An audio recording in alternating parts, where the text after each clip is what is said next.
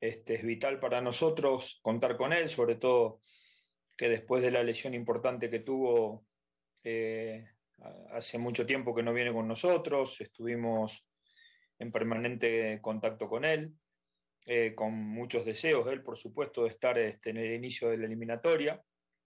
Y ahora, bueno, la, federación continúa con los pasos que, hay que seguir y, nosotros esperando. Eh, la verdad es que no tengo una postura sobre cuántas son las posibilidades que Raúl tenga este, de venir después del primer partido, pero bueno, indudablemente este, siempre las expectativas las tenemos. Bueno, la realidad es que este, todas estas imponderables que se fueron presentando, la, suspensión este, del ingreso de público en, nuestra localía, eventualmente lesiones de futbolistas o este, el, hecho de no poder venir por parte de otros.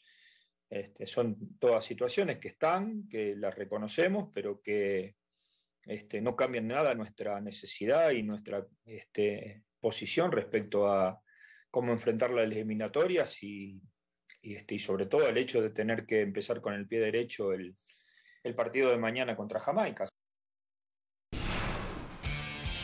hay que hablar del Tata Martino porque el eh, seleccionador nacional tiene un problema de salud que lo podría alejar de los banquillos en el partido contra Costa Rica y Panamá, según informaron fuentes a ESPN Digital. Martino reporta problemas en la vista, le van a hacer unos exámenes después del juego contra Jamaica y dependiendo de lo que arroje el diagnóstico, definirá si sí o no viaja a los otros dos partidos de la eliminatoria. Problemas en la vista.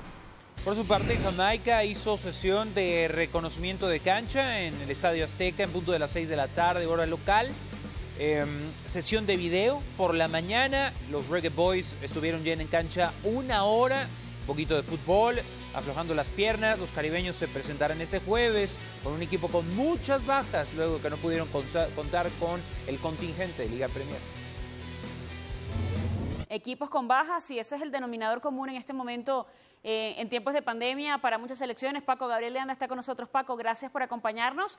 Y, yo comenzaba haciendo un símil, que de alguna manera cada selección, México, Jamaica, enfocándonos por supuesto en ese partido que tendrá el Tri, eh, ambas selecciones están haciendo como su monstruo, su Frankenstein, con piecitas y esperando que, la criatura se levante y camine. ¿Quién, lo tiene más complicado para ti con, las bajas y con lo que ha tenido también en el pasado reciente, me refiero al verano, Jamaica o México? Claro, qué gusto saludarte, como siempre. Me, gusta lo que, lo que mencionas. Me gusta lo que mencionas porque así es. Así es. Y, y, a algunos le, le, faltan piezas claves. Eh, desde luego, Jamaica, eh, por la cantidad de ausencias. Pero en el caso de México, el que te falten Jiménez y el Chucky Lozano no es un tema menor. Ahora, en el caso de México no es pretexto para el Tata Martino. Estás iniciando la eliminatoria es en casa, a pesar de que no hay público, todo te favorece. El favorito, eh, ampliamente favorito, es México. Eso no quiere decir, Caro, que ya tengamos los tres puntos en la bolsa. ¿eh? Siempre que México ha querido hacer alegres cuentas, le ha salido el tiro por la culata. Y recordemos la eliminatoria, el inicio de la eliminatoria previa a Brasil 2014, contra Jamaica en el Estadio Azteca, 0-0. Y a partir de ahí la debacle para el Chepo de la Torre y salió por la puerta de atrás. No digo que vaya a pasar lo mismo, pero no podemos menospreciar al rival. ¿Tiene ausencias México? Sí. ¿Tiene ausencias Jamaica? ¿Tiene más ausencias que México? Sí. Hay que salir a ganar. Si ganas 1-0, 2-0, es válido. No puedes menospreciar al rival. Tienes que adaptarte a lo que estás viviendo. Y el Tata Martino lo sabe. Aquí es donde empieza la presión. Aquí es donde empieza lo, lo bueno de la historia, Caro. Así es. Paco, ¿te parece justo esta posición de los equipos europeos de algunos de decir por temas de pandemia, porque están empezando las ligas, porque son tres fechas, no voy a prestar a los jugadores? ¿O, si es justo pensando en, bueno, eh, el que firma el cheque al final del día y, cubre la carrera del jugador termina siendo el club? Bueno, eso siempre ha sucedido. El que paga los gastos, el que paga el sueldo, el que corre los riesgos, es el equipo que contrata al futbolista. Siempre ha sido así. Por eso se implementó la fecha FIFA, porque ahí no hay argumento que valga y el jugador tiene que ser eh, prestado a la selección. Y lo que no me gusta, Caro, es que algunos jugadores de la Premier League sí viajaron con su selección y otros no. que es el caso de Jiménez. No me gusta eso. Definitivamente, yo entiendo la parte física y el golpe brutal que recibió Jiménez, pero ya jugó en la Premier League. Él ya está apto, ya fue dado de alta. Él podría venir a México.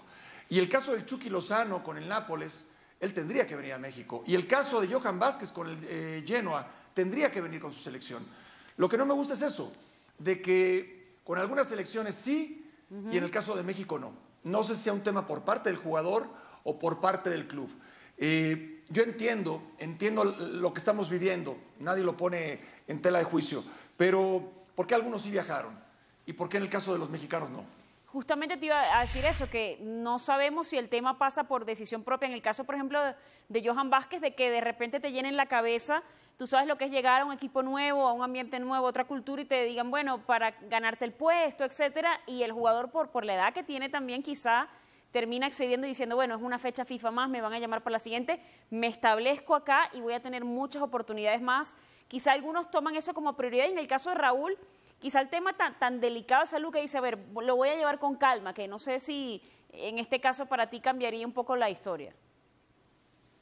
Sí, sí tienes razón. A ver, está, está claro que por el tema de pandemia se ajustó el calendario eh, no es normal. Está iniciando los, torneos, está iniciando el, fútbol en todas las ligas, en la Premier League, en, la Serie A, en Italia. Y viene esta fecha FIFA, además en una semana tres partidos. Mm, eh, evidentemente el calendario se ajustó, se apretó. Ahora, es cierto que Johan Vázquez inicia su carrera en, Italia, en el Genoa, pero también en la, en la selección mayor. Entonces tienes que ponerle una balanza. También en la selección mayor el Tata Martino lo está eh, tomando en cuenta quizás hasta para ser titular. Yo creo que en ese sentido, Johan Vázquez tendría que haber venido, es una opinión personal. En el caso de Jiménez, bueno, quizás dice con Jamaica no, eh, Panamá, Costa Rica, podemos sacar los resultados y yo me concentro en mi equipo, vengo de una lesión, inicié la temporada de, de, titular, estoy jugando, mejor me quedo aquí. Bueno, ahí ya es la responsabilidad de cada quien. Lo mismo el Chucky Lozano, que jugó el fin de semana pasado podría haber venido a México.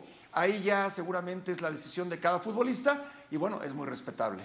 Así es, Paco. Bueno, ya veremos entonces cómo le va en ese andar, en esas tres fechas FIFA a la selección mexicana. Te mandamos un fuerte abrazo.